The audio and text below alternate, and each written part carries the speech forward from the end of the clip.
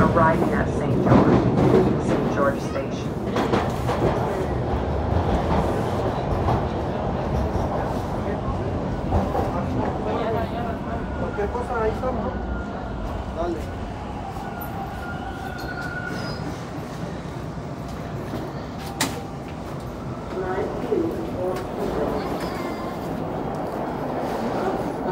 Why is he going in?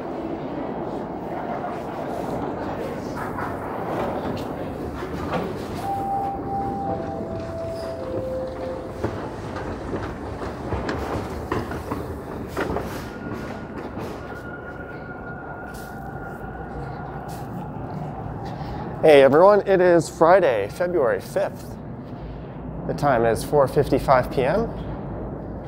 and the temperature outside is minus 5 degrees Celsius. Although with the wind chill, apparently it feels more like minus 14.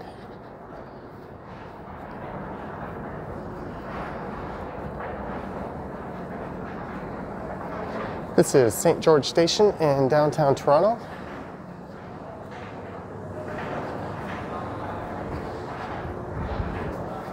And I'm about to head up to the Bedford Road exit.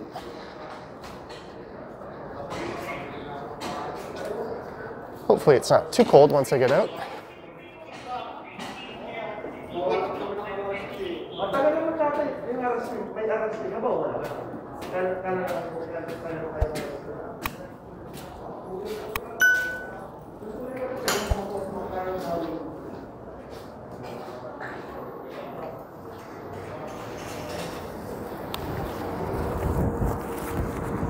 There's a look north up Bedford Road.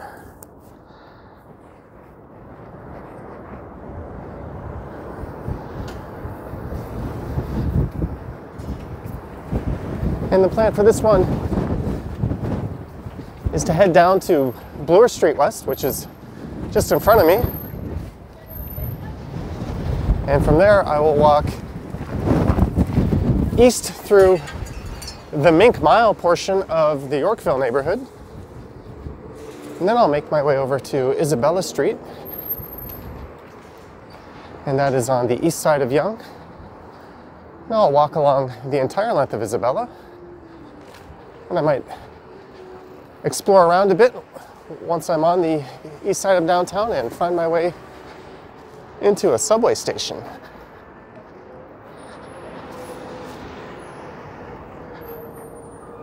There's a look west along Bloor Street West.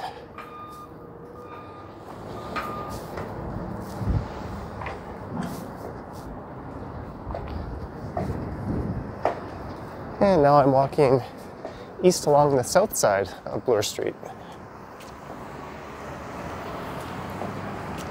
There's Varsity Stadium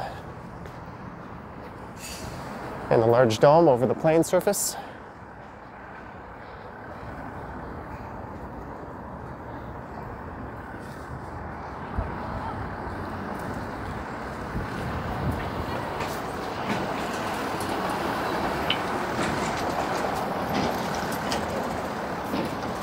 I was thinking of venturing a bit further away from the core today, but with the cold weather, I decided not to. I've recently gone out to Scarborough and Etobicoke to record some walks and live streams over the past week. And I'll probably do some more of that in the coming week. There's the Royal Conservatory of Music on the right. And it looks like they're doing some street work here A along Bloor.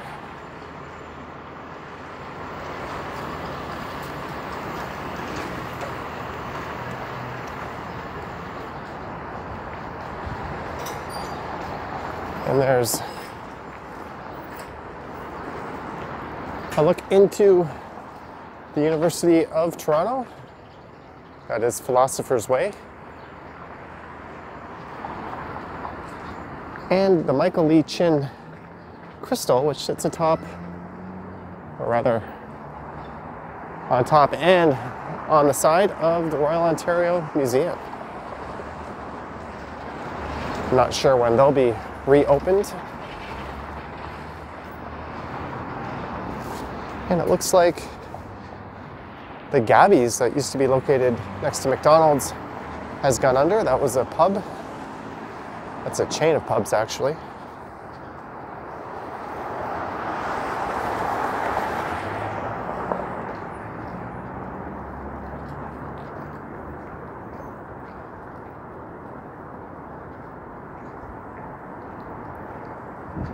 So the first part of this walk might be a little familiar if you watch the channel, although I can't ever recall walking down Isabella Street, at least not the entire length of it. So something old, something new. And this is Queen's Park here.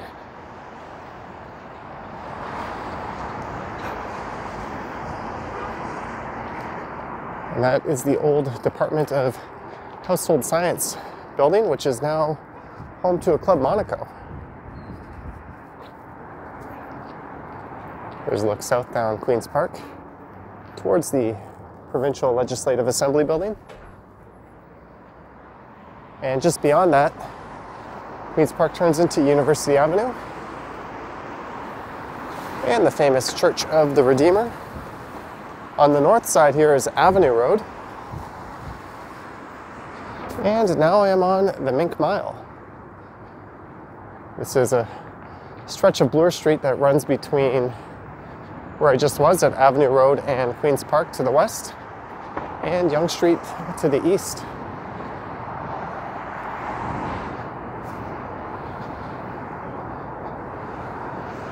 It gets its name from being probably the highest end retail stretch in Canada.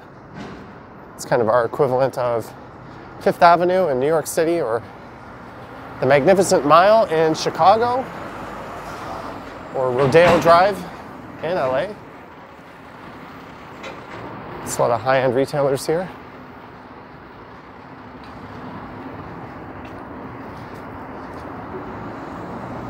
But there's also a, a fair bit of, I guess you could say, lower or middle-end retailers. There's a Winners and HomeSense. Winners is pretty much just like Marshalls if you're not familiar with it. There's also a Gap and an H&M.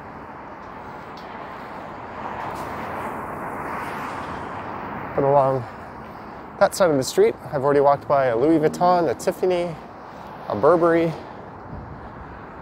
and a Gucci store. Here's Cartier. I've mentioned this in prior videos, but I'm not particularly familiar with most of these brands.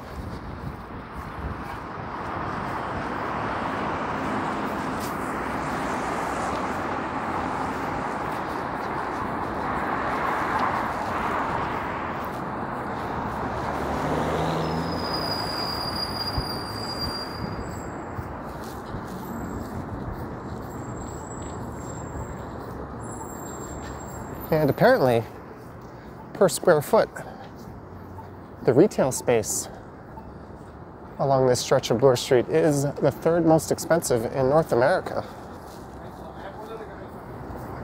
And I think it generates the highest sales per square foot in Canada. There's an old pottery barn location. I don't know what they're going to do with that building. And just to the north of here is the Yorkville Village neighborhood.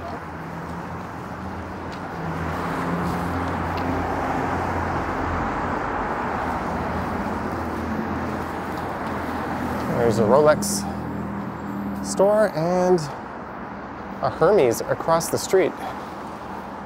I first learned of that movie or that, that brand from a Japanese movie called Train Man or something along those lines.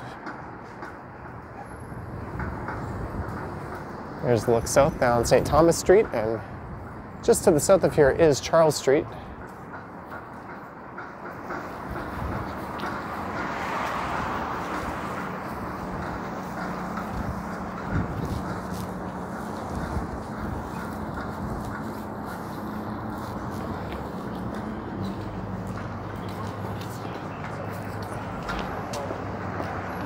So where I started was at St. George Station, which sits along line 2 and line 1.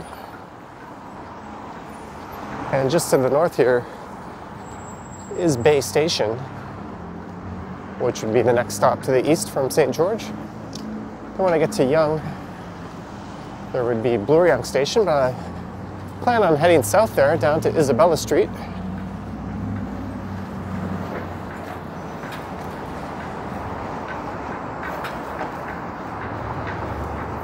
And I was mistaken. The gap is gone.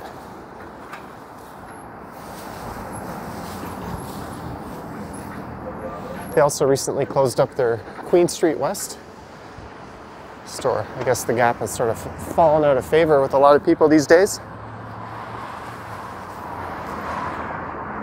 There's the look south down Bay Street. It is 5.05, so there's about 25 minutes of daylight left. The days are getting longer. It might have been neat to do this walk at twilight instead, but it is what it is. I'll do some twilight walks later on in the week or next week.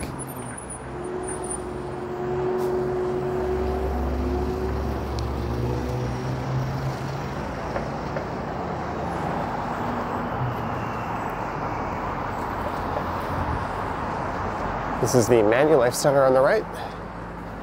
And on the left is Holt Renfrew, which is a large high-end Canadian department store.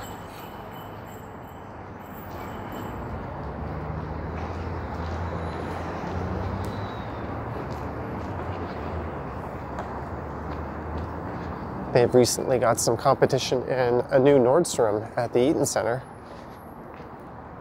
And part of the bay turned into Saks Fifth Avenue.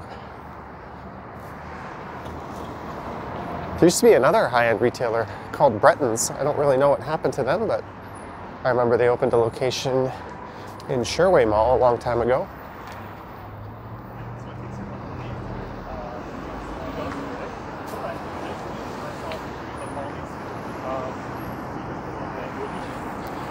And rising up here at the corner of Bloor and Yonge is the one. That would be the southwest corner. And that will be a 94 story, 1110 foot condominium with retail at the base. In fact, there's rumored to be a flagship Apple store moving into the base.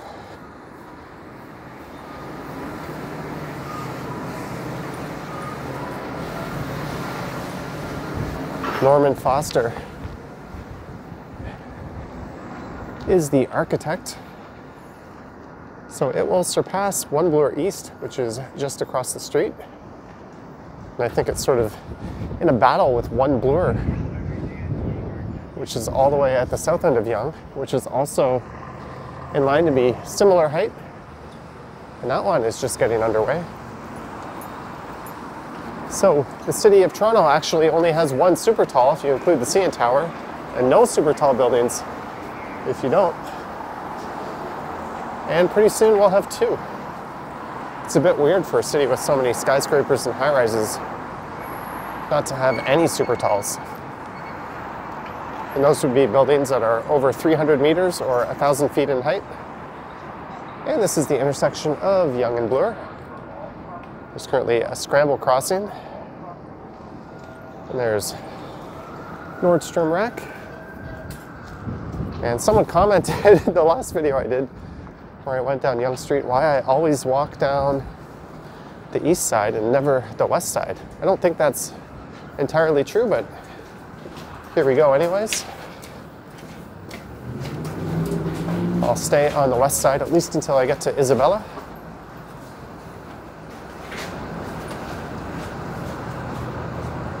There used to be a Sunrise Records right here. And on this corner was Stollery's. It was a retailer that had been in Yorkville forever. And a lot of people felt that that building should have had heritage status, but it didn't. And the developer was quick to demolish it when they started building the one. There's a pretty big uproar over that, but at the end of the day, the building did not have any type of protected status.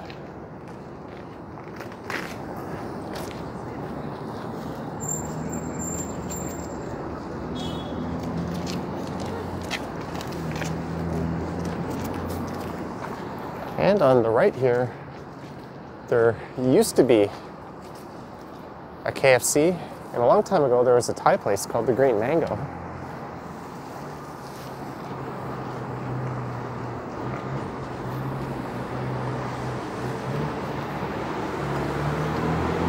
On the corner there used to be a Starbucks.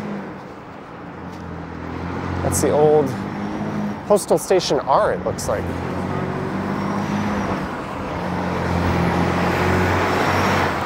Ooh, her legs have to be cold.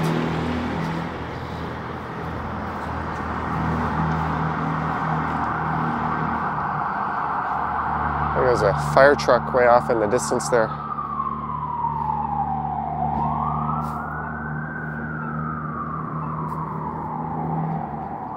A look down Charles Street. I think I did a walk along there a few weeks ago.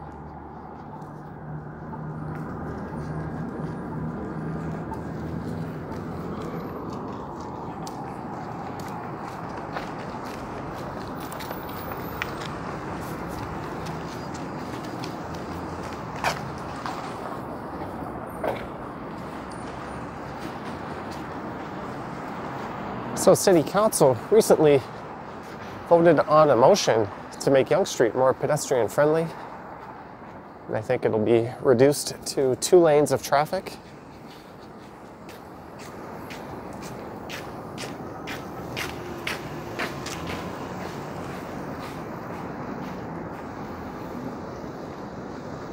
I think it would be better off if it was just closed to traffic. There's plenty of alternate routes if you're going north to south, anyways.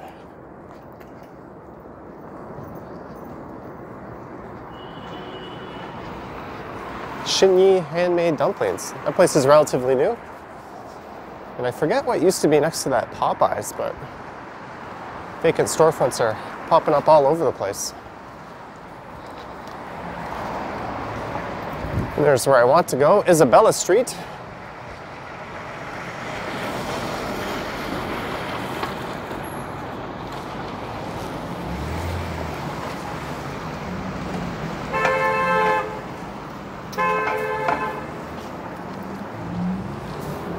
Let's see here if there's a break in traffic and a chance to cross.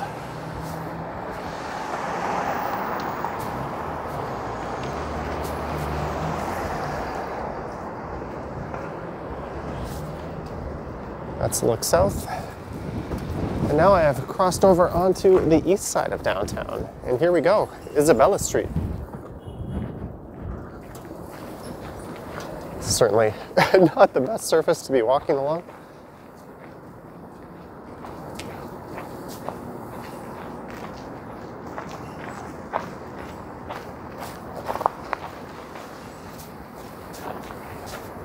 There's the Artful Dodger Pub.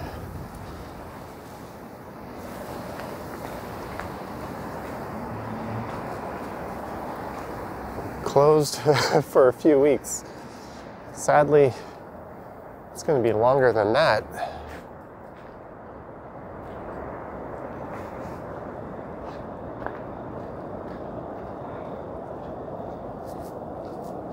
And this here is Iwa. They have a huge backyard patio.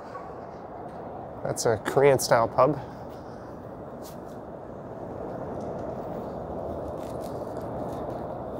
And this here is George Hislop Park. And to the south, I'm trying to think of the name. I think that's, I can't see the sign. I think that's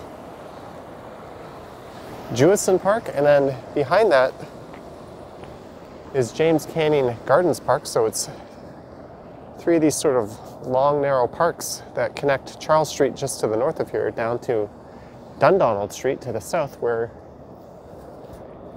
you can enter Wellesley subway station.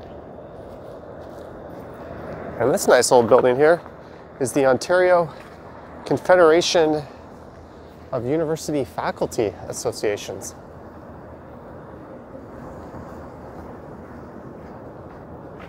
Looks kind of like a frat house.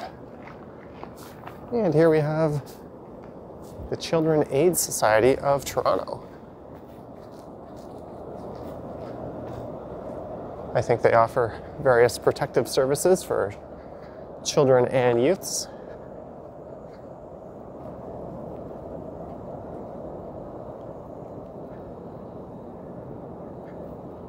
And I'm not sure what's going on with this building here, but there seems to be curtains in the windows and some lights on.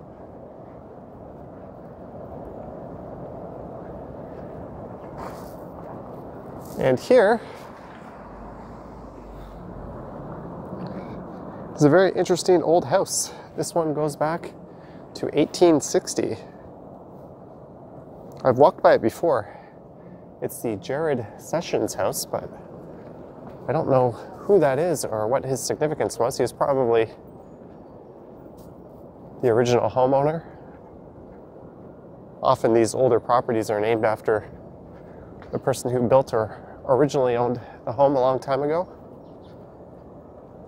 But Isabella Street is mostly these mid and high rise apartments. But I thought it would be interesting to check it out.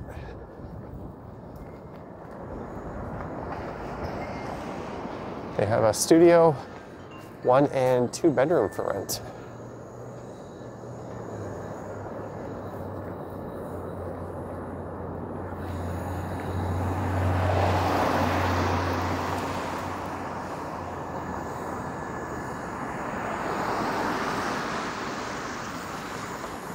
So coming up is Church Street. So this would be the Church Wellesley Village area. There's a look back to the west. Sky's kind of lighting up in that direction. Maybe I'm walking in the wrong direction.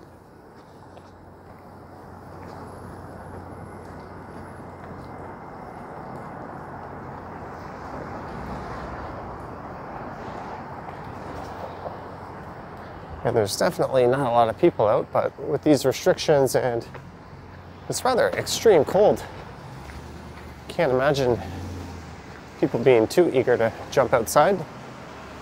So here is church.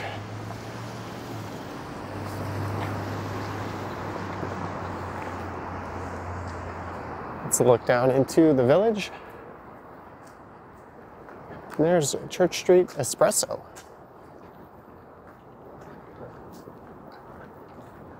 I had a drink and a snack on the patio in the summer back in those good old days where we were allowed to do things like that.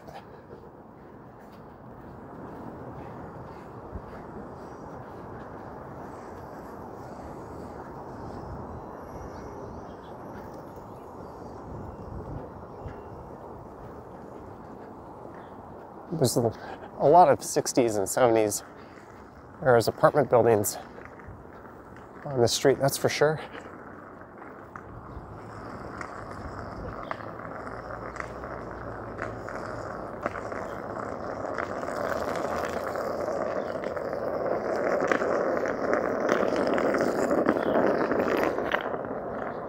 And Isabel Street is a little under a kilometer in length.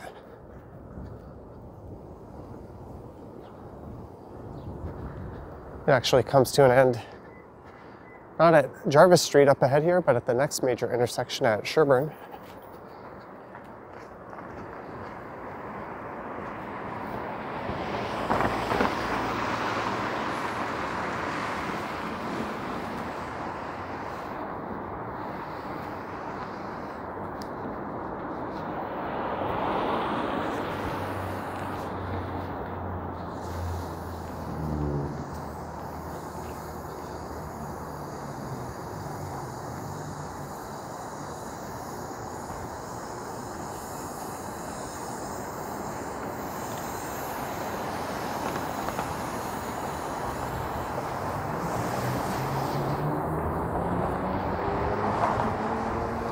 So here we go, or here we go, here we go, Jarvis Street.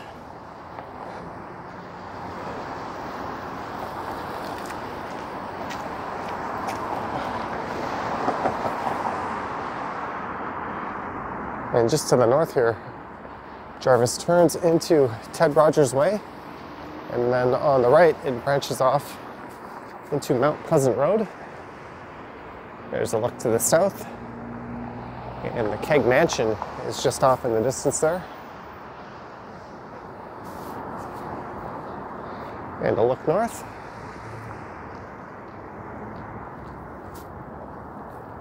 I'm just kind of curious about the Casey house here.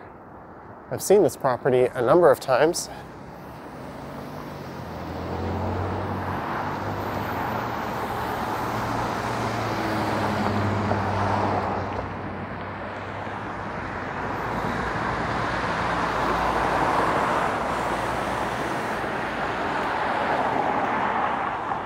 It dates back to 1875.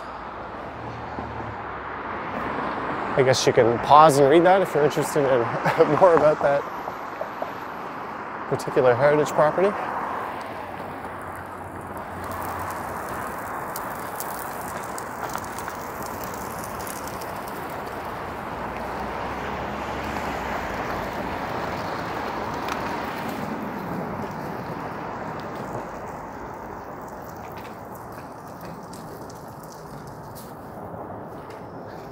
Looks like there's a number of people on the side of the street, so maybe I'll cross over.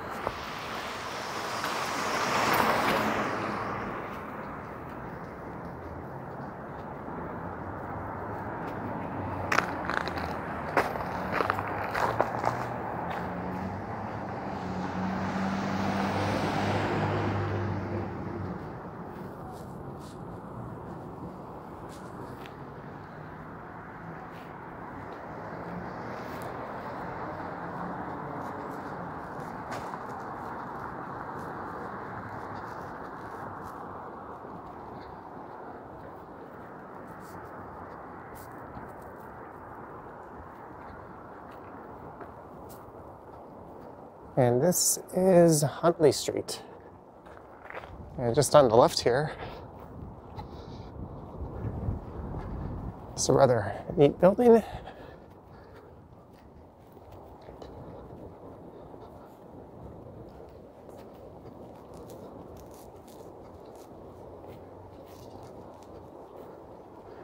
This is the Elementary Teachers Federation of Ontario.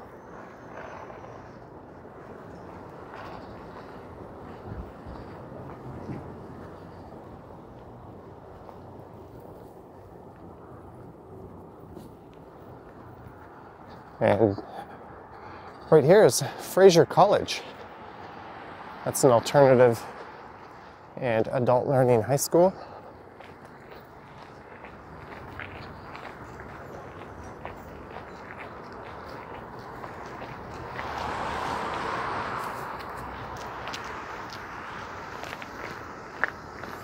And that building says Midtown Apartments. At one point, this used to be known as Uptown, and later on it became Midtown, and now it's just part of downtown.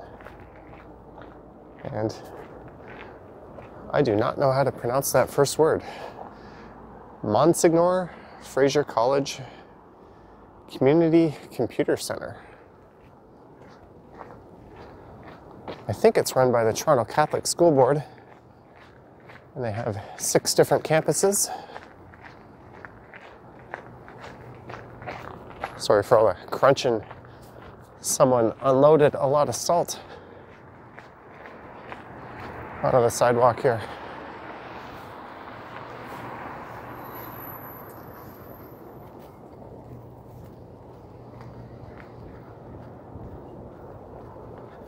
And here's Sherbourne Street.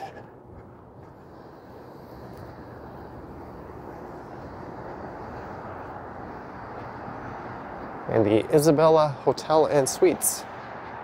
I'll have to look this up on TripAdvisor. Don't really know anything about it, but they do have a Gabby's. That's the chain that had a location close that I showed earlier. There's a look south down Sherbourne. And just up ahead here is the James Cooper House. It should be about half a block from here.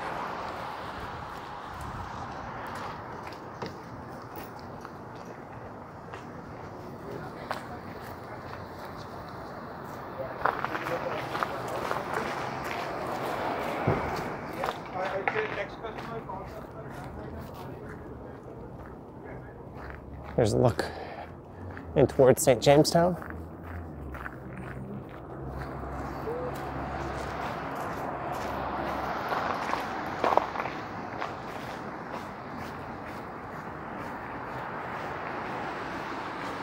So just to the north of here is Bloor Street East.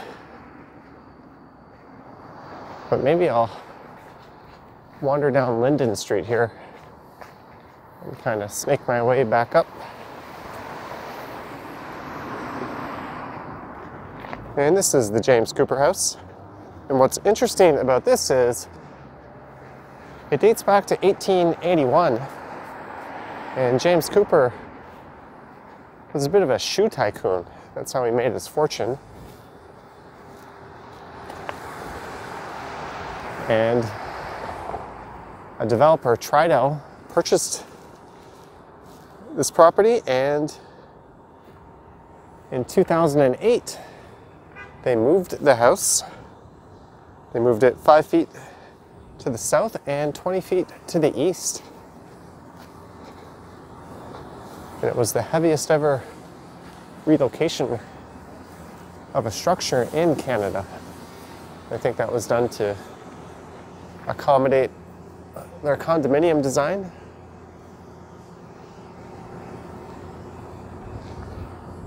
And it cost somewhere around a million dollars to do that.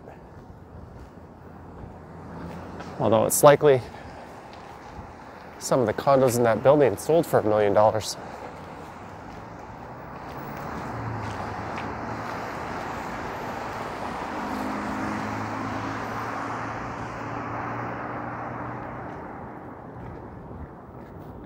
I'm just going to wander down Linden here.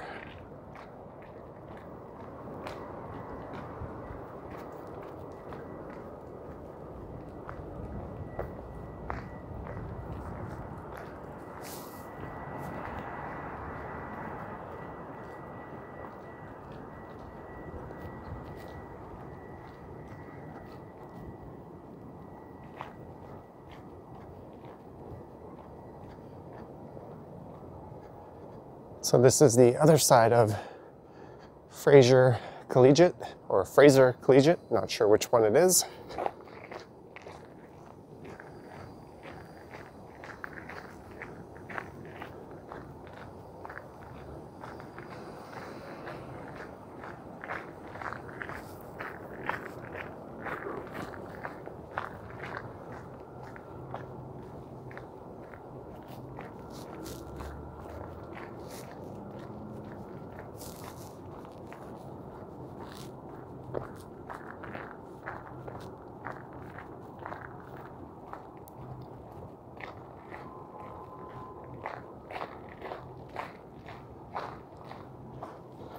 Here's some nice older homes.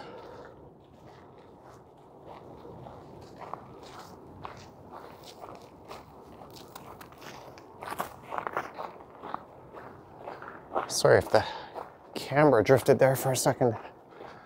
I just had a phone call coming in. I wanted to make sure it wasn't anything important.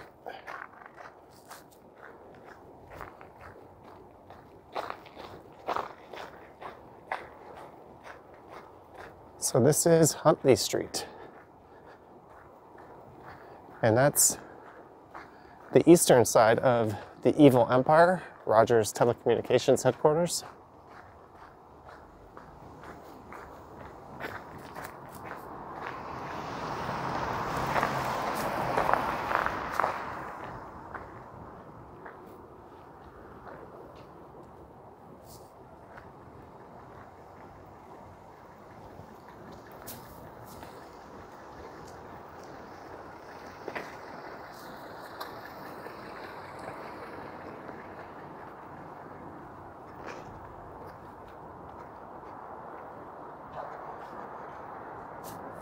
These look to be townhomes. It's kind of interesting. They're part of the Rogers complex. Maybe they're actually offices. There's some of the older homes across the street. And here is Selby Street. I have never been along here.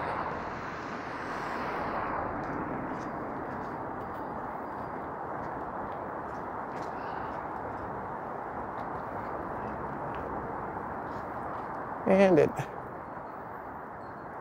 looks kind of interesting. I'm just going to check out this park space here.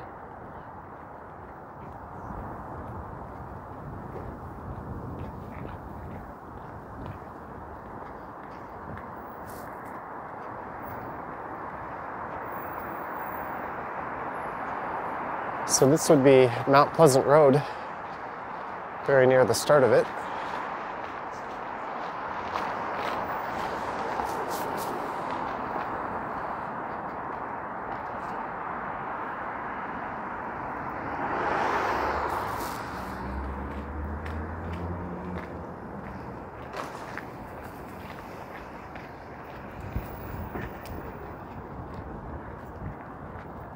All right, now I'm just gonna head back to Selby Street and then I will pop into Sherbourne Station.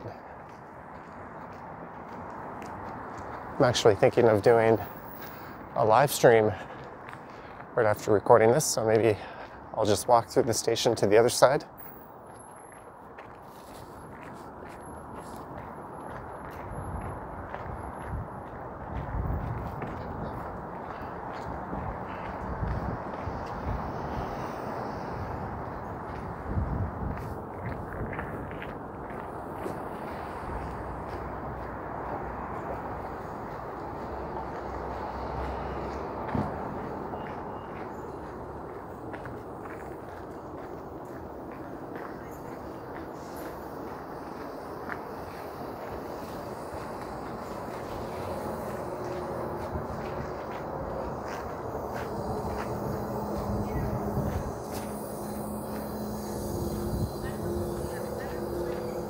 There's the No Frills supermarket.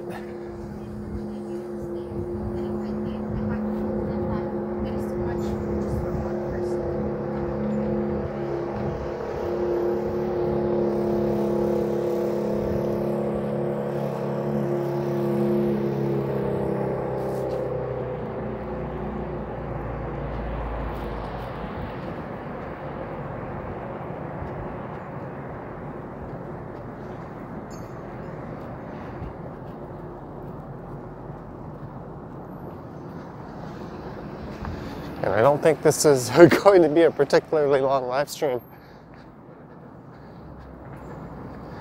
given the temperature, but it's Friday evening. Might as well do something before I go home. I'll have to pick up some dinner as well.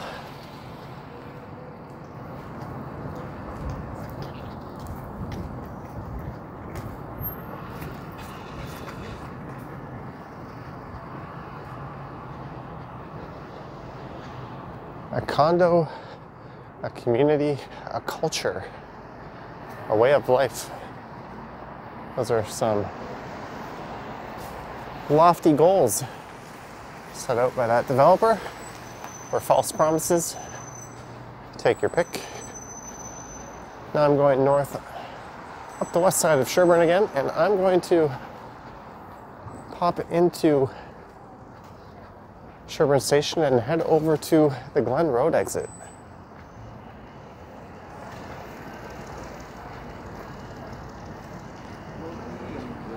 Or rather than that, maybe I'll just head over that way on Bloor Street. At least then I won't have to unnecessarily go indoors.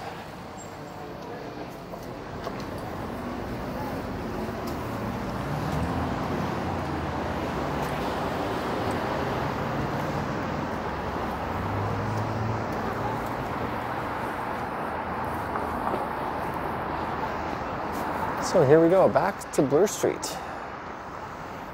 There's the entrance to Sherbourne Station.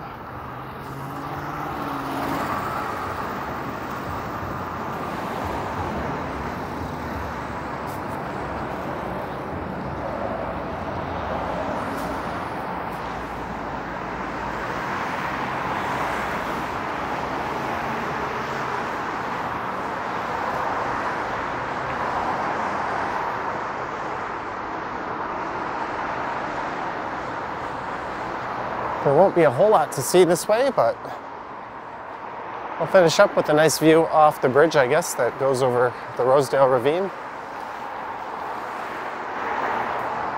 And that's where I started a video the other week that went through the Rosedale neighborhood, which is right over there.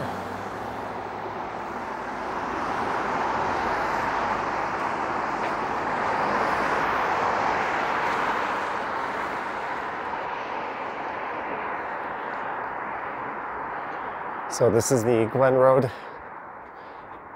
exit for Sherbourne Station coming up.